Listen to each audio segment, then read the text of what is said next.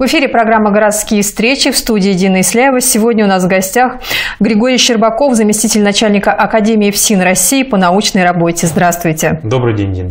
Григорий Викторович, э, в Академии придет, пройдет международная конференция, посвященная духовно-нравственному воспитанию осужденных. А какие темы будут обсуждаться? А, темы будут обсуждаться три основных. Это духовно-нравственное воспитание несовершеннолетних осужденных, это объединение усилий мусульманского духовенства в работе с осужденными за а, преступления террористической направленности. Ну и третья тема – это помощь, скажем так, религиозных объединений, традиционных для России, в работе с осужденными на этапе ресоциализации, подготовки к освобождению и э, в, тех, э, в том формате, что не связано с изоляцией от общества. Ну вот, наверное, не случайно были эти темы выбраны. Это то, что, наверное, интересно в первую очередь да, для Академии, для курсантов.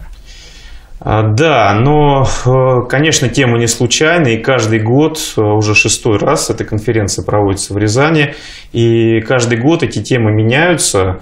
А, незыблемым остается только само название, это взаимодействие, э, скажем так, Русской Православной Церкви и других традиционных религий с уголовно-исполнительной системой России. А, в этом году вот эти темы определены как наиболее острые, требующие внимания. И здесь, конечно же, не только интересы Академии и наших обучающихся, это интересы прежде всего практики уголовно-исполнительной системы и а, тех традиционных религий, которые с ней взаимодействуют очень активно в последнее время. А конференция – это дискуссионная площадка? А, безусловно, это дискуссионная площадка и формат, сам формат научно-практической конференции предполагает а, вот такое обсуждение а, с выступлениями, с вопросами, острыми ответами. И помимо пленарного заседания, которое будет задавать, скажем так, вектор, да, вот, предусмотрены работы трех основных секций. Вот по тем темам, о которых я уже сказал. И э, самое главное, что мы ждем от работы на этих секций, это, ну, скажем так, тех практических рекомендаций для э, наших сотрудников на местах и для священников, которые приходят и служат э, в уголовно-исполнительной системе оказывают, окормляют места лишения свободы. Но все-таки о сотрудниках на местах. А, недавно появилась такая должность, да, человек, который будет работать с верующими. Действительно, не так давно а, должность помощника начальника территориального органа по работе с верующими была введена в оргштатную структуру ФСИН России, и теперь в каждом территориальном органе есть работник, который отвечает за вот это большое такое направление деятельности. Причем, а, значит, подходили таким образом, чтобы учитывать специфику того или иного региона. Ну, допустим, такие регионы, как Татарстан, Башкирия, там эти а, работники назначены из числа мусульманского духовенства. Ну, подавляющее большинство, конечно, это православное духовенство, это священники, действующие русской православной церкви. Также мы рассматривали вопрос, и есть представители ну, скажем так, буддийского а, направления в религии, тоже а, в ряде регионов такие сотрудники, работники назначены. А в этом году кто будет участвовать в конференции? В этом году у нас всего участников порядка 400 человек. Мы ожидаем здесь представителей всех абсолютно религий, традиционных для России, к участию. И э, основу составляют, коль у нас несовершеннолетние а, осужденные, вынесенные на рассмотрение, составляют руководители воспитательных колоний, практически всех а, будут у нас, и, соответственно, будут э, помощники начальников территориального органа по работе с верующими. Да. И, конечно же, ученые, которые э, в этой теме уже не первый год и активно участвуют в разработке всех необходимых материалов, документов для практики. Участники из других стран будут в этом году или нет? Да, у нас предполагается участие представителей и светских, и э, религиозных направлений из Белоруссии, э, Казахстана, Кыргызстана, Азербайджана и Социалистическая Республика Вьетнам тоже приглашает свою делегацию. А вот им это для чего нужно? А, у них э, очень э, большой интерес вообще, в принципе, по организации данной работы. Хотя сама республика Вьетнам, нельзя сказать, что однозначно она в какой-то религии находится, но э, сама проблематика интересует, и их, им интерес представляет все, что происходит в нашей уголовно-исполнительной системе, работа и несовершеннолетних, как строится в этом аспекте, и вопросы безусловно, связанные с тем э, наказанием, которые э, без изоляции от общества исполняются. Ну, то есть, получается, у нас больше опыта в этом смысле? Конечно, безусловно. Я думаю, что вьетнамцы едут к нам посмотреть, поучиться и что-то себе э, значит, внедрить такое, чтобы у них тоже какие-то вопросы эти решались. А вы повезете их куда-то на экскурсию? Они просились или нет? Да, конечно. Мы с, взаимодействуем с... Это полицейская народная академия, которая готовит э, специалистов для всех правоохранительных э, органов Вьетнама. И приезжает к нам делегация, которая попросила, конечно же, ознакомить их с нашим Рязанским краем. И они планируют, и мы им предлагаем посетить наши визитные карточки. Это и Константинова, все, что связано с Сергеем Есениным, очень интересно и откликается у них. Это э, монастырь Пощупова, это э, просто вот город Рязань. Люди, они хотели просто побродить, погулять по городу, э, знают, что у нас очень много изменений, посетить Кремль, ну и другие, в общем-то, достопримечательности с тем, чтобы напитаться духом Рязанской земли. Очень ждут они эту свою командировку. А их много будет, большая делегация? Делегация 6 человек. Вот, это представители как Академии, так и Министерства общественной безопасности Республики Вьетнам. А с несовершеннолетними как-то по-особенному строится работа? Конечно, есть специфика работы с несовершеннолетними, вообще есть специфика, ну а в духовно-нравственном воспитании тем более. Дело все в том, что Э, в существующих сейчас 23 воспитательных колониях находится порядка 1400 Э, осужденных, э, не достигших совершеннолетия. И, конечно, с ними работа строится специфическим образом. Э, вы понимаете, подростковый возраст имеет ряд особенностей. Личность формируется, набирает определенные качества, свойства, которые необходимы ей потом для дальнейшей жизни. И чтобы не пополнять криминальный мир, скажем так, взрослый а, нам необходимо на этом этапе организовывать работу, в том числе и с помощью священнослужителей, чтобы а, вот эти духовно-нравственные э, порывы, позывы, они именно а, проходили в русло просоциальных поступков, поведений и законопослушного поведения в целом. А ну, религия действительно помогает осужденным как-то вернуться в общество, стать уже полноценными членами или нет? А, да, вы знаете, религиозное воспитание выделяют э, не только священники, но и светские ученые. Оно имеет место быть. И, безусловно, религия, вера, все это, безусловно, способствует тому, чтобы человек э, вернулся э, в свободный мир, скажем так, уже с новыми какими-то переосмысленными жизненными позициями, целями, интересами.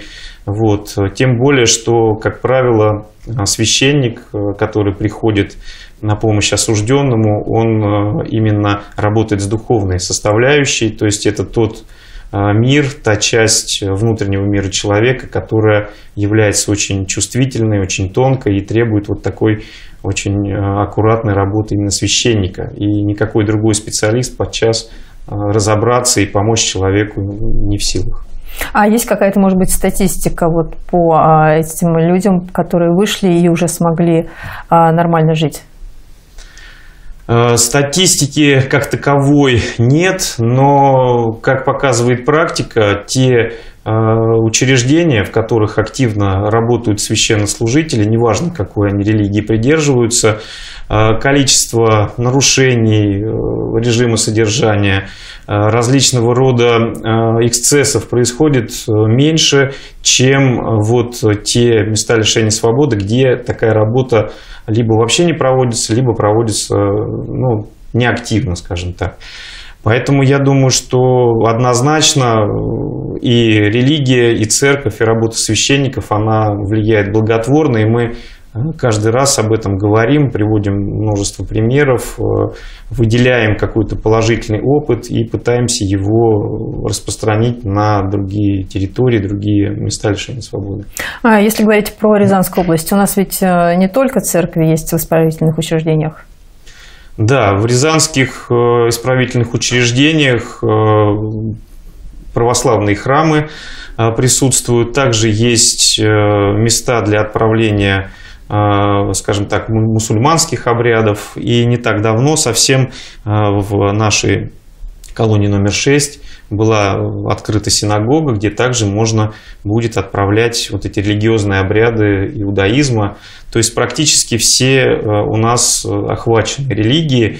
И, конечно же, право на свободное вероисповедание, оно, безусловно, является одним из основных – и все стараются предоставлять такую возможность осужденным, тем более, которые находятся в такой достаточно непростой ситуации исправительного учреждения. Ну и, конечно, не исключено, что, может быть, человек придет к вере, ну, хотя бы вот в таких условиях.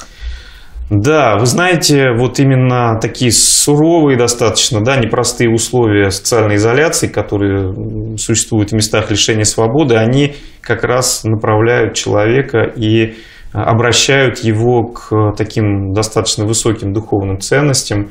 Конечно, нельзя говорить о том, что все осужденные, которые обратились, э, ну, скажем так, к священнику, к Богу в местах лишения свободы, исправятся и встанут на путь исправления, но тем не менее заложить зерно какое-то, повернуть, попытаться что-то сделать, безусловно, это помогает.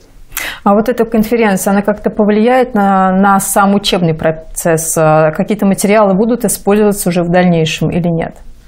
Да, безусловно, у нас, э, как правило, все научно-практические конференции, которые проводятся, и те материалы, выводы, к которым мы приходим, они внедряются не только в практическую деятельность исправительных учреждений, но и в образовательный процесс. И не только академии, но и практически всех ведомственных наших вузов СИН России и тех вузах, где есть специфика, преподается специфика работы с осужденными.